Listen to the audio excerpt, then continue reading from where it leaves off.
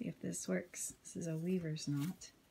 First thing I like to do is kind of soften up the tail because this is soft and harder thread is harder to.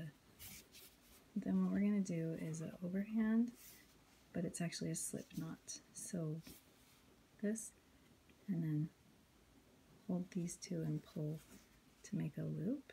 And then don't make it too tight yet because we have to be able to snug it up against this tail. So then you take this old tail, put it through, slide your hole up against the hole or wherever you want it to cinch, and then pull these two ends and you'll feel a click.